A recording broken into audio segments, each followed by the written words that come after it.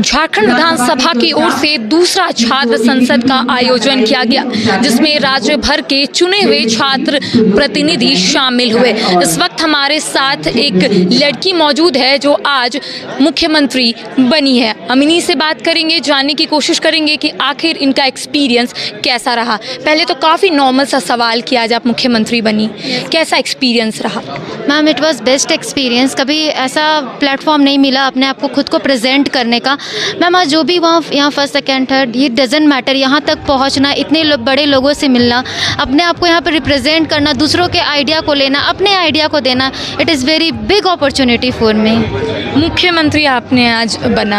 किस तरीके का आपको लग रहा था? क्योंकि सदन के अंदर काफ़ी बातें होती चाहे पक्ष की हो चाहे विपक्ष की हो सीएम का काम होता है अच्छे से सुनना उसके बाद उन तमाम सवालों का जवाब देना। उस वक्त कैसा महसूस कर रही थी कि क्या यहाँ पर बोलेंगे जो पक्ष और विपक्ष दोनों को समझ आएगा?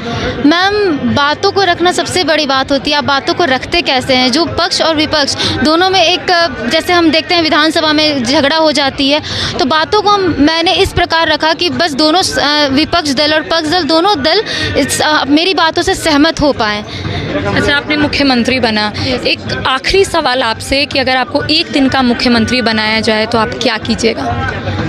मैम मैं तो सबसे पहले सबसे पहले मैं महिलाओं की एजुकेशन की ओर फोकस करूँगी, जो मेरा सबसे बड़ा लक्ष्य होगा। और जितने भी हमारे, अगर हम सिर्फ़ झारखंड सिर्फ़ झारखंड की बात करते, जितने भी भूख मरे हैं, उन लोगों को मैं खाना और आवास प्रदान करवाऊँगी। अच्छा आपने हमेशा सुना होगा कि सदन की कार्रवाई चलती है, पक्ष और विपक्ष लगातार एक दूसरे पर हमलावर होते हैं। आज काफ़ी शांतिपूर्ण तरीके से यहाँ पर आप लोगों ने अपनी बात रखी। कैसा लगा जब आप लोग टीवी में देखते होंगे या फिर सुनते होंगे कि आज पक्ष और विपक्ष एक दूसरे पर हमलावर हुए। यहाँ पे काफ़ी शांतिपूर्ण तरीके से आपने देखा क्या कुछ सीखा आपने यहाँ से?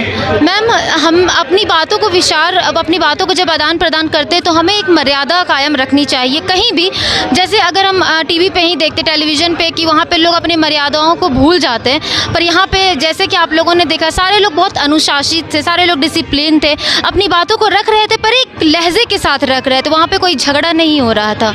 Yes ma'am. तो कई छात्र यहाँ पर मंत्री भी बने हैं आप यहाँ पर मंत्री बने। मैं दो मंत्रालय कौन कौन सा मंत्रालय था आपका? मुझे दो मंत्रालय दिया गया था एक ग्रामीण विकास मंत्रालय और दूसरा संसदीय कार्य कार्यवाही मंत्रालय। ग्रामीण विकास मंत्री का आपको कार्य पता है क्या वो काम करते हैं? जी गाँव का विकास करना तथा गाँव के लोगों का को एक बेहतर जीवन और भौतिक सुख सुविधाएँ उपलब्ध कराने के लिए प्रयास सिर्फ़ कर। सुना होगा ये चीज़। ये बताइए कि हमारे झारखंड में ग्रामीण विकास मंत्री कौन है? आप ग्रामीण विकास मंत्री बने कौन है हमारे झारखंड में ग्रामीण विकास मंत्री? आलमगीर आलमगीर आलम। आलम। क्या सीखा आपने यहाँ पे? मैंने यहाँ पे सीखा कि मुझे पहली बात तो यह रखनी है कि इस जर्नी में मुझे बहुत कुछ सीखने को मिला और मैंने यहाँ पे सीखा कि अपने बातों को कैसे सीमित समय में रखना चाहिए। आज हो क्योंकि सक मैं आपको सुन रही थी कि आप बहुत ज़्यादा बोल रहे थे आपको बार बार टोका भी जा रहा था कि आपका समय ख़त्म हो गया है। तो क्या आपको और भी कुछ बातें कहनी थी?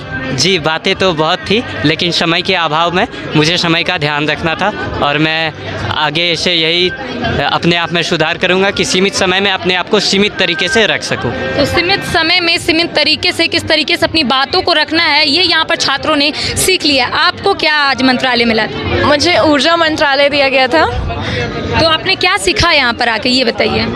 सबसे पहले तो हमने ये सीखा कि संसद में किस तरह से कार्य किया जाता है। हर चीज़ एक का एक प्रोसीजर है। पक्ष भी अपने बात रखने का एक तरीका होता है। विपक्ष को भी ऐसा नहीं है कि वो किसी के भावनाओं को ठेस पहुँचाए और कोई भी बात बोली जाती है तो स्पीकर के थ्रू बोली जाती है। किसी को डायरेक्टली नहीं बोली जाती है यहाँ पे सदन में, क्योंकि किसी के भी रिप्रेजेंटेटिव यहाँ पे आ रहे हैं तो वो सबके भी हाफ़ में बात रखते हैं। तो ज़ाहिर सी बात है कि आपने सुना कि क्या एक्सपीरियंस इनका रहा है? आपको कौन सा मंत्रालय मिला? नगर विकास एवं आवास मंत्रालय मुझे दिया गया। मैं कौशल कुमार रामगढ़ राधा गोविंद विश्वविद्यालय से रामगढ़ को रिप्रेजेंट कर रहा था। एक्सपीरियंस रहा? पहले ये बताइएगा कि छात्र होने के अलावा आपको यहाँ पर बुलाया गया। आपको सदन के पटल में किस तरीके से बात रखा जाए इसको भी आप लोगों को सिखाया गया था। और क्या क्या कमी रह गई? चूँकि हम लोगों ने सुना कि किस तरीके से अध्यक्ष महोदय ने कहा कि आप लोगों को एक साथ आप लोग ताली पीट रहे थे वो सिर्फ़ पक्ष वाले पीटते हैं अगर वो सहमत हो तब। तो इसमें क्या, जैसे हम लोग छात्र थे, अभी तक तो किताबी ज्ञान देखे थे, क्या होता है शून्यकाल क्या होती है दोपहर का, अब बैठक कैसे होती है, पक्ष विपक्ष कैसे होता है, ये हम लोग किताब में ही देखे थे। लेकिन छात्रों के द्वारा आज पहली बार द्वितीय छात्र संसद का भी आयोजन किया गया था, जिसमें हम लोग ना कि इसको देखकर, बाकी करके भी आज हम लोग ने सीखा है कि किस प्रकार अधिनियम बनते हैं और किस प्रकार वो कानून लास्ट में बनाए जाते हैं एक विधानसभा में। आप जो कपड़े पहन कर आए हैं, पूरा नेता लग रहे हैं। आगे की क्या प्लानिंग है? क्या आप पॉलिटिक्स में जाना चाहते हैं? जी नहीं, मैं, मेरा अभी सक्रिय राजनीति में आने का ऐसा कोई विचार नहीं है। अभी मैं छात्र हूँ तो जैसे कि हमारे माननीय अध्यक्ष महोदय ने भी इस बात को कहा कि पहले एजुकेशन इंपॉर्टेंट है तो पढ़ाई जब पूरी हो जाएगी, उसके बाद इसमें विचार किया जाएगा, लेकिन वर्तमान में ऐसा कोई विचार नहीं है। कैसा एक्सपीरियंस रहा? चूँकि अगर आप लोगों को बुलाया गया होगा तो कई मन में सवाल हो रहे होंगे कि कई लोग वहाँ पे बैठे होंगे, क्या बात रखना है? चूँकि स्क्रिप्टेड तो होगा, कुछ आप लोग बहुत सीख कर आए होंगे। यहाँ पर अलग क्या एक्सपीरियंस रहा? क्या क्या गलतियाँ आप लोगों से हुई यहाँ पर? देखिए जैसे कि हम लोगों को यूनिवर्सिटी के माध्यम से पता चला कि ऐसे कार्यक्रम का आयोजन होना है तो हम लोगों ने अपना इंटरव्यू दिया, उसमें से हम लोग 24 जो चुन के आए और हम लोगों को बिल्कुल भी ऐसा अनुभव पहले नहीं था कि संसद की कार्रवाई कैसे होती है। प्रैक्टिकली इस चीज़ को जानना काफ़ी एक नया एक्सपीरियंस था। हाँ कहीं ना कहीं हम लोगों को लगा कि, जैसे कि सर ने भी इस चीज़ को दोहराया कि हाँ और ना में लोग थोड़ा कन्फ्यूज़ हो जाते हैं कि कहाँ हाँ बोलना है, कहाँ ना बोलना है। तो ये सब छोटी छोटी चीज़ें हैं। सर ने अपने अनुभव से बताया कि हम लोग भी जो अनुभवी होते हैं, पंद्रह बीस साल से जो अनुभव है, हम लोग भी कहीं ना कहीं चूक जाते हैं। तो ये कोई बड़ा इशू नहीं है। खैर ये चीज़ मुझे जो आज नया सीखने को मिला, इससे मैं काफ़ी उत्साहित हूँ। धन्यवाद। चेहरे की मुस्कान कुछ अलग बता रही है। खुश क्यों? और हाथ में ये क्या? ये हमारी जीत है हमारे हाथों में और यही हमारी खुशी का कारण भी है क्योंकि मैं अपने क्षेत्र को हज़ारीबाग को रिप्रेजेंट कर रही थी और मुझे सम्मान मिला। तो ये पूरे हज़ारीबाग के लिए सम्मान का विषय है और मैं गौरव महसूस कर पा रही हूँ कि मैंने हज़ारीबाग के सम्मान में कुछ अपने तरफ़ से भी ऐड किया। ये एक बहुत प्राउड वाली फीलिंग है। कैसा एक्सपीरियंस रहा ये बताइएगा। एक छात्र होने के बावजूद आपको यहाँ पर बुलाया गया। सदन के पटल पर किस तरीके से अपनी बात को रखा जाए ये भी सिखाया गया। क्या किया यहाँ पर सीखा आपने? ये झारखंड विधानसभा का एक बहुत सराहनीय कदम है कि हम बच्चों को हम छात्रों को यूनिवर्सिटी लेवल के स्टूडेंट्स को यहाँ आने का मौका मिलता है।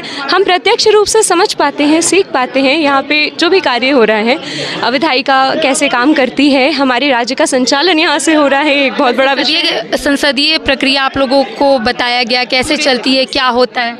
जी जी हमें संसदीय प्रक्रिया के बारे में समझाया गया और न सिर्फ़ समझाया गया उसका हिस्सेदार उसका भागीदार बनाया गया। एक अहम सवाल आपसे कि आप आज बहुत अच्छा कार्य किए हैं। आगे क्या कुछ प्लानिंग है? पॉलिटिक्स में आने का कुछ सोचा है आपने? इट्स ऑन डेस्टिनी मेरा पर्सनल ऐसा कोई प्लानिंग तो नहीं है बट आई एल ट्राई कि अगर मौका मिले क्योंकि uh, यहाँ से हम देश सेवा कर सकते हैं जो कि एक बहुत बड़ा जीवन का लक्ष्य होना चाहिए किसी के भी जीवन का।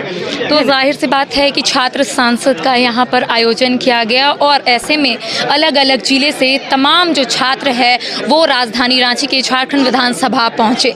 कई लोगों से हमने बात की उनका कहना है कि एक्सपीरियंस काफ़ी अच्छा रहा।